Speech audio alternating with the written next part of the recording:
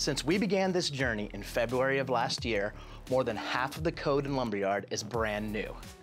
I'm excited to introduce Lumberyard Beta 1.10 with more than 500 improvements. I'm Binky, your community manager. Let's take a look at some highlights. So we all know that rendering multiple transparent surfaces in games is hard. So with this latest update, we've introduced order independent transparency to help make it easier.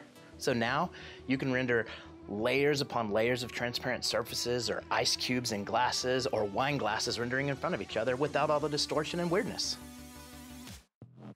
Jaggies. We've been fighting them for years in game development.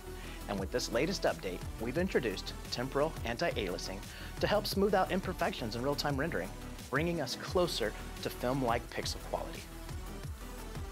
And with the feedback and input from you, our community, this is our largest update to date with over 50 Cloud Gem enhancements, 35 component entity workflow improvements, and materials editor performance increases, this is just the beginning.